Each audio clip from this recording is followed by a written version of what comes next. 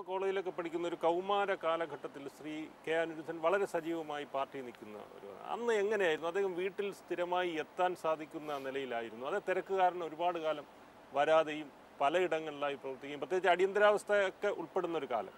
അന്ന് താങ്കൾ ഒരു മകൻ എന്നുള്ള നിലയിൽ എങ്ങനെയാണ് ഈ അച്ഛനെ നോക്കിക്കണ്ടതും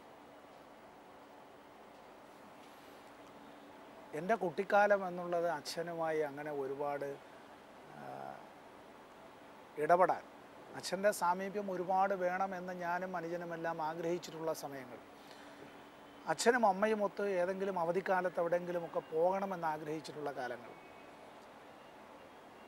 സിനിമയ്ക്ക് പോകണം എന്ന് ആഗ്രഹിച്ചാൽ എത്രയോ ദിവസം വീട്ടിൽ സമരം ചെയ്തിട്ടായിരിക്കും ഞാനും അനുജനും സിനിമയ്ക്ക് കൊണ്ടുപോകാമെന്ന് അച്ഛനും അമ്മയും വാക്ക് തരുന്നത്.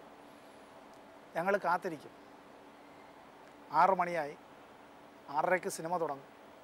ആറേകാലായി. ആറ് ഇരുപതായി ആറേ മുക്കാലായി അപ്പോഴും അച്ഛൻ എത്തിയിട്ടുണ്ടാവില്ല ഏഴ് മണിയാവുമ്പോൾ ഞങ്ങൾ റെഡിയായി നിൽക്കുന്ന ഞങ്ങൾ രണ്ട് കുട്ടികൾ വല്ലാതെ കരഞ്ഞിട്ടുണ്ടാവും. ഒരു വർഷത്തിൽ ഒരു സിനിമ അല്ലെങ്കിൽ രണ്ട് സിനിമ പോലും കൊണ്ടുപോയി കാണിക്കാനായി കഴിയാതിരുന്ന ഒരു അച്ഛനെ പറ്റി നിങ്ങൾ ആലോചിച്ച് നോക്കണം. സ്കൂളിൽ ഒരിക്കൽ പോലും വന്ന് ഞങ്ങളുടെ പഠനത്തെക്കുറിച്ച് അന്വേഷിക്കാനായി വരണമെന്ന് ആഗ്രഹിച്ചപ്പോൾ പോലും കഴിയാതിരുന്ന ഒരു അച്ഛനെക്കുറിച്ച് മറ്റൊരു വ്യക്തിപരമായ കാര്യം ശ്രീ കെ അനിരുദ്ധൻ ഒരു നല്ല അച്ഛനാണോ താങ്കളെ സംബന്ധിച്ചിടത്തോളം? ഒരു നല്ല മാതൃകാ പിതാവെന്ന് താങ്കൾക്ക് വിശേഷിപ്പിക്കാൻ സാധിക്കും ഞാൻ ഉറപ്പായും അങ്ങനെ വിശ്വസിക്കും വിശേഷിപ്പിക്കും. ഒരച്ഛൻ മക്കളോട് അദ്ദേഹത്തിന്റെ പരിമിതമായ സമയം വളരെ കുറച്ച് സമയമേ അദ്ദേഹത്തിന് കിട്ടിയിട്ടുള്ളൂ. അമ്മയ്ക്ക് ലഭിച്ചതുപോലെ കിട്ടിയിട്ടില്ല. അമ്മ അധ്യാപിക ആയിരുന്നു എന്നുള്ളത് കൊണ്ടും കുട്ടികൾ അമ്മയേക്കാൾ പ്രായമുള്ള വിദ്യാർത്ഥികളെയും വിദ്യാർത്ഥിനികളെയും അമ്മ പഠിപ്പിച്ചിട്ടുണ്ട്. സഖാവ് വിളിയം ഭാർഗവൻ പ്രൊഫസർ കെ സുധർമ്മയുടെ വിദ്യാർത്ഥിയായിരുന്നു കൊല്ലാസൻ കോളേജിൽ. അങ്ങനെ നിരവധി ആളുകളുണ്ട്. ഇപ്പോൾ അച്ഛന് അദ്ദേഹത്തിന്റെ ചികിത്സ അനാരോഗ്യം കാരണമുള്ള പ്രശ്നങ്ങളും ചികിത്സയും അദ്ദേഹത്തിന്റെ ഇടത്തെ കാൽ അദ്ദേഹത്തിന് ആംപ്യൂട്ട് ചെയ്യേണ്ടത് വന്നതുകൊണ്ടും ഒക്കെയുള്ള പക്ഷേ ഇപ്പോഴും മനസ്സുകൊണ്ട് അദ്ദേഹത്തിലെ രാഷ്ട്രീയക്കാരൻ വളരെ സജീവമാണ്.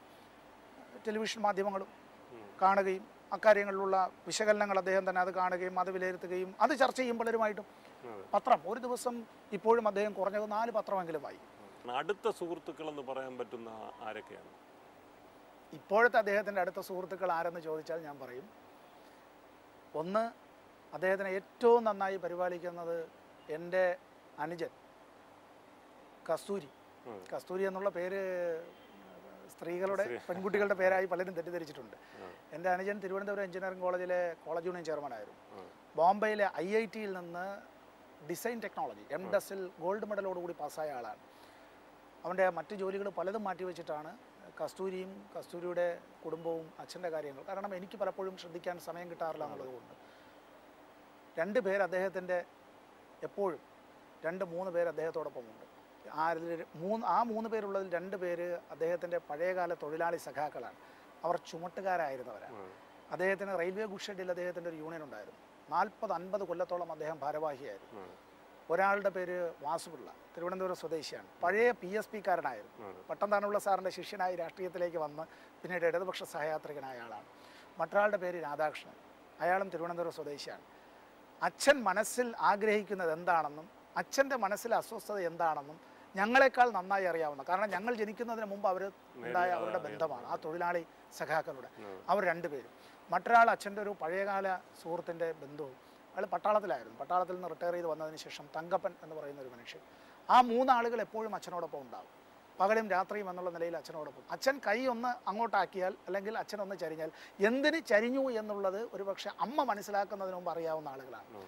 അച്ഛനെ ഒരു കുട്ടിയെ പോലെ അച്ഛന്റെ ഭക്ഷണം വിശ്രമം ചികിത്സ മരുന്ന് കഴിക്കുന്നത് അതിന്റെ സമയങ്ങളടക്കം അദ്ദേഹത്തിന്റെ ഫിസിയോതെറാപ്പി കാര്യങ്ങളടക്കം ശ്രദ്ധിക്കുന്നത് കൃത്യമായ ഒരു എഞ്ചിനീയറുടേതായിട്ടുള്ള എല്ലാ കൃത്യനിഷ്ഠയോടും കൂടി അനുജനാണ് അവരാണ് ഏറ്റവും നല്ല സുഹൃത്തുക്കളെന്ന് ഞാൻ.